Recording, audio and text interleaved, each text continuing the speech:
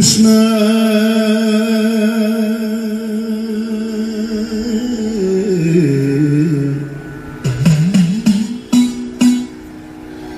Krishna Vasudevaya.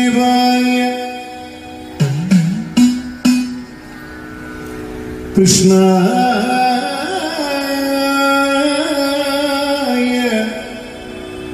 Vasudevaya.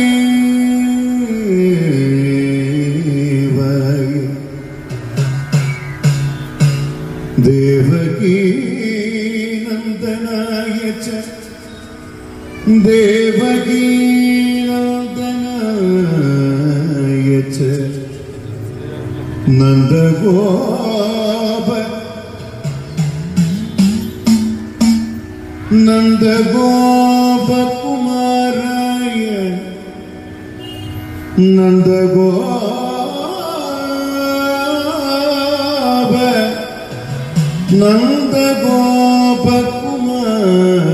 നന്ദഗോപകുമാരായ ഗോവിന്ദായ ഗോവിന്ദായ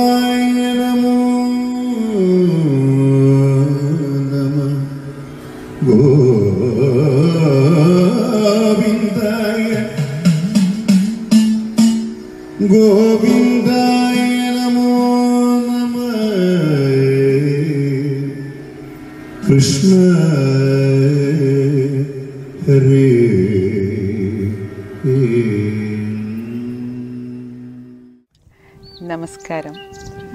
നമ്മളിപ്പോൾ നിൽക്കുന്നത് പവിത്രമായ ഇരുവൽ ശ്രീ മഹാവിഷ്ണു ക്ഷേത്ര സന്നിധിയിലാണ്.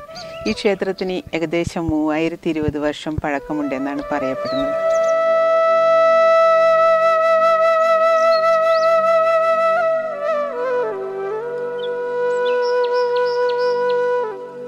പൗരാണിക കാലത്തെ ഋഷിമാരുടെ തപോവനമായിരുന്നു അത്രേ ഈ പ്രദേശം.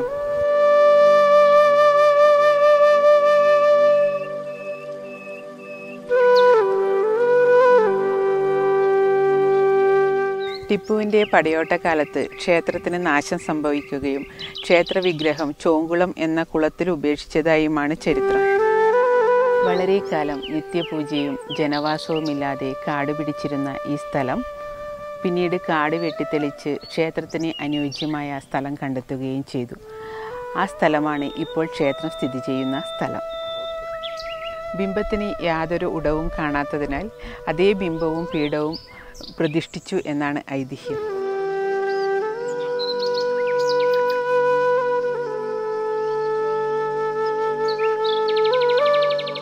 കാസർഗോഡ് ജില്ലയിലെ കാഞ്ഞങ്ങാട് നിന്നും പാണത്തൂർ ഹൈവേയിലൂടെ പന്ത്രണ്ട് കിലോമീറ്റർ കിഴക്കായിട്ടാണ് ഈ ക്ഷേത്രം സ്ഥിതി ചെയ്യുന്നത്.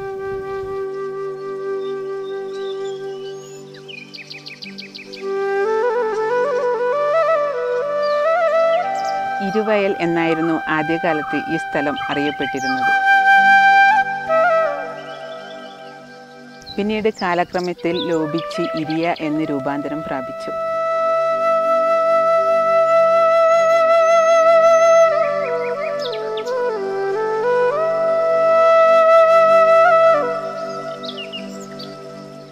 ഈ സ്ഥലത്തിന്റെ ചരിത്ര പശ്ചാത്തലത്തെക്കുറിച്ച് മാനേജിംഗ് ട്രസ്റ്റി രാമൻ വാഴുന്നവരുടെ വാക്കുകളിലേക്ക്. നമസ്കാരം. ബാലൂർ യസമാനന്മാരും വേങ്ങയിൽ യസമാനന്മാരും തമ്മിലുള്ള ഒരു സ്ഥലം സംബന്ധിച്ച പ്രശ്നങ്ങൾ വന്നത് കാരണം ഒരു രാശി പ്രശ്നം മുഖാന്തരം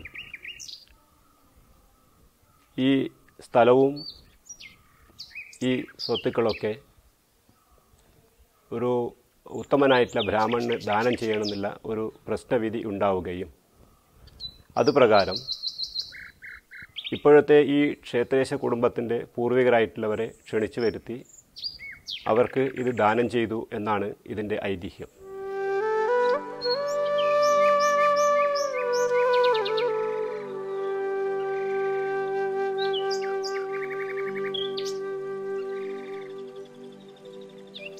ഇപ്പോൾ ഈ ക്ഷേത്രം നിൽക്കുന്ന സ്ഥലം ആയിരത്തി തൊള്ളായിരത്തി ഏഴ് അന്നത്തെ ക്ഷേത്രേശ കുടുംബത്തിലെ തലമുതിർന്ന അംഗങ്ങളായിട്ടുള്ള ശ്രീ നാരായണൻ വാഴുന്നവരും അദ്ദേഹത്തിന്റെ മകൻ ശ്രീ ഉപേന്ദ്രൻ വാഴുന്നവരും. ഇവിടെ മേൽനോട്ടത്തിലാണ് നമ്മുടെ ഈ ഇപ്പോൾ നിൽക്കുന്ന ഈ ക്ഷേത്രത്തിന്റെ പണികളൊക്കെ കഴിപ്പിച്ചിട്ടുള്ളത്. ക്ഷേത്രഗോപുരം ഇന്നത്തെ നിലയിൽ പണി കഴിപ്പിച്ച് ഉദ്ദേശം നൂറ് വർഷമേ ആയിട്ടുള്ളൂ. ആയിരത്തി തൊള്ളായിരത്തി ഏഴിൽ ഇരുവൽ നാരായണൻ വാഴുന്നവരുടെ മകൻ ഉപേന്ദ്രൻ വാഴുന്നവർ ക്ഷേത്രേശനായിരുന്ന കാലത്ത് ഈ ക്ഷേത്രം ബാലാലയ പ്രതിഷ്ഠ ചെയ്ത് ഷഡാധാര പ്രതിഷ്ഠ നടത്തി. ആ സമയത്തായിരുന്നു ശ്രീകോവിൽ നമസ്കാര മണ്ഡപം ചുറ്റമ്പലം മുതലായവ പുതുക്കിപ്പണിയുകയും ആയിരത്തി തൊള്ളായിരത്തി പന്ത്രണ്ട് മേടമാസം മൂന്നാം തീയതി തിരുവോണം നക്ഷത്രത്തിന് പഴയ ബിംബം തന്നെ പ്രതിഷ്ഠിക്കുകയും ചെയ്തു എന്നാണ് ഈ ക്ഷേത്രത്തിന്റെ മണ്ഡപത്തിൽ ലിഖിതം ഉള്ളതായിട്ട് കാണാം. ദേവകിക്ക് കാരാഗ്രഹത്തിൽ വെച്ച് കാണിച്ചു കൊടുത്ത വിഷ്ണു സ്വരൂപനായ ശ്രീകൃഷ്ണൻ ആണ് ഇവിടെ സന്നിധാനം ചെയ്തിട്ടുള്ളത് എന്നാണ് ഐതിഹ്യം. നമ്മൾ ഈ കാണുന്ന മണ്ഡപത്തിന്റെ മേൽക്കൂര ദശാവതാരം ശ്രീകൃഷ്ണലീലകൾ എന്നീ ദാരുശില്പങ്ങളാൽ അലങ്കൃതമാണ്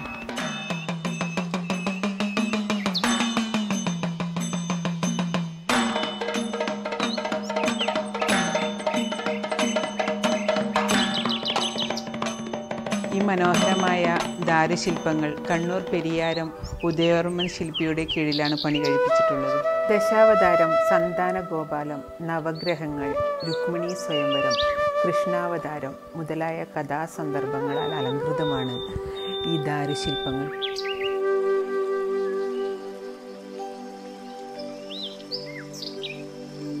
ക്ഷേത്രത്തിന്റെ കിഴക്ക് വശത്ത് കുളത്തിനരികിലായി ഏകദേശം അറുപത് വർഷത്തിലധികം പ്രായമുള്ള ഒരു നാഗമരം. ഇവിടെ വരുന്ന ഭക്തജനങ്ങൾക്ക് കൗതുക കാഴ്ചയാണ്. ക്ഷേത്രത്തിലെ അടിയന്തരങ്ങൾ രാവിലെ നട തുറക്കൽ അഭിഷേകം ഉഷാപൂജ ഉച്ചപൂജ. അത് കഴിഞ്ഞിട്ട് വൈകുന്നേരം നട തുറക്കൽ ദീപാരാധന അത്താഴപ്പൂജ മാസത്തിൽ തിരുവോണ നാളും ആഴ്ചയിൽ വ്യാഴാഴ്ചയും ഇവിടെ വിശേഷപ്പെട്ട ദിവസങ്ങളാണ്. കുട്ടികളുടെ ബാലാരിഷ്ടം സാംക്രമിക രോഗങ്ങൾ രാത്രികാലത്തുള്ള ഭയപ്പാട് എന്നിവ മാറിക്കിട്ടുന്നതിനു വേണ്ടി ഉഴിഞ്ഞുവക്കൽ വഴിപാട് ഇവിടെ വളരെ പ്രധാനമാണ്. സന്താനലബ്ധിക്ക് തിരുവോണ ഹോമവും തുടങ്ങി പത്തോളം പൂജകൾ വളരെ പ്രധാന വഴിപാടായി സ്വീകരിക്കുന്നു. മീനമാസത്തിലെ തിരുവോണം തിരു ഉത്സവമായി കൊണ്ടാടുന്നു. ചിങ്ങമാസത്തിലെ അഷ്ടമി രോഹിണിയും ഇവിടെ പ്രധാനപ്പെട്ടതാണ്. ഗരുഡവിളക്ക് ചുറ്റുവിളക്ക് തെളിക്കൽ ഇവിടുത്തെ പ്രധാന വഴിപാടാണ്. ഈ ക്ഷേത്രത്തിന്റെ കന്നിമൂലക്കായി. ഒരു ഗുഹ ഇവിടെ ഉണ്ട്. അത് വളരെ പൗരാണികമായിട്ട് ഉള്ള ഒരു ഗുഹയാണ്. പഴയ കാലത്ത് ഈ ക്ഷേത്രം നിൽക്കുന്ന സ്ഥലവും ഇതിന്റെ ചുറ്റുപാടൊക്കെ ഒരു തപോവനമായിരുന്നു. സന്യാസിമാരും ഋഷിമാരൊക്കെ ഇവിടെ വിശ്രമിക്കുന്ന അല്ലെങ്കിൽ അവർക്ക് ഉള്ള ഒരു വിശ്രമ കേന്ദ്രം എന്ന് വേണമെങ്കിൽ പറയാം. അല്ലെങ്കിൽ ഒരു തപോവനം എന്ന് വേണമെങ്കിൽ പറയാം. അങ്ങനെയുള്ള ഒരു കാടുകളാൽ ചുറ്റപ്പെട്ട ഒരു സ്ഥലമായിരുന്നു ഈ ക്ഷേത്രവും പരിസരവും. ഇന്ന് ഈ കാണുന്ന ഈ ഗുഹ അതിന്റെ അകത്തേക്ക് അതായത് ഗുഹ ഗുഹയിൽ ഒരു നാനൂറ് മീറ്റർ ഇതിന് ദൈർഘ്യമുണ്ട്. പക്ഷേ ഇന്നത്തെ അതിനകത്തേക്ക് പോവാൻ ആരും പോവാറില്ല സാധാരണഗതിയിൽ. ഈ ഗുഹയിൽ ഒരിക്കലും പറ്റാത്ത നീരുറവയുണ്ട്. അത് ക്ഷേത്രത്തിന്റെ ആവശ്യങ്ങൾക്കും ഉത്സവാദികൾക്കൊക്കെ ഞങ്ങളത് ഉപയോഗിക്കാറുണ്ട്.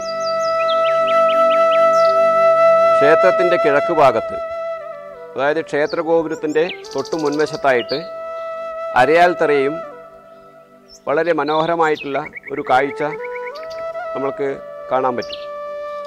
ഉപനയനം വേളി എന്നിവ ഈ ക്ഷേത്രത്തിന്റെ പുനഃപ്രതിഷ്ഠ മഹോത്സവത്തോടനുബന്ധിച്ച് ബ്രഹ്മശ്രീ ഇരുവൽ കേശവൻ വാഴുന്നവരുടെ മുഖ്യ കാർമ്മികത്വത്തിൽ ആയിരത്തി തൊള്ളായിരത്തി തൊണ്ണൂറ്റി ഒമ്പതിൽ നടക്കുകയുണ്ടായി. അതിനോടനുബന്ധിച്ച് ആനപ്പന്തൽ ഊട്ടുപര മേൽശാന്തിപടം നാൽമ്പ നാലമ്പത്തിനകത്ത് കരിങ്കൽ പാകൽ എന്നിവ നിർമ്മാണം പ്രവർത്തനങ്ങളും നടന്നത് ഈ കാലത്താണ്. ഈ ക്ഷേത്രത്തിൽ വെച്ചായിരുന്നു ആയിരത്തി തൊള്ളായിരത്തി എൺപത്തെട്ടിൽ വളരെ പ്രശസ്തി ആർജിച്ച ആർജിച്ച ഷാജിയൻ കരുൺ സംവിധാനം ചെയ്ത പിറവി എന്ന സിനിമ ചിത്രീകരണം ചെയ്തത്.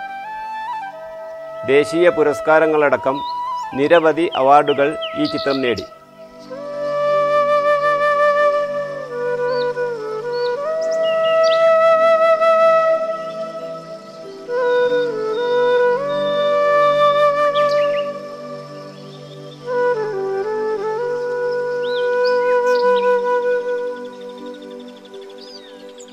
ക്ഷേത്രത്തിന്റെ കിഴക്കുവശത്തായിട്ടാണ് ക്ഷേത്രക്കുളം സ്ഥിതി ചെയ്യുന്നത്. ദേവകിക്ക് കാരാഗൃഹത്തിൽ ദർശനമേകിയ വിഷ്ണു സ്വരൂപനാം വൈകുണ്ഠനാഥ. നമോസ്തുതേ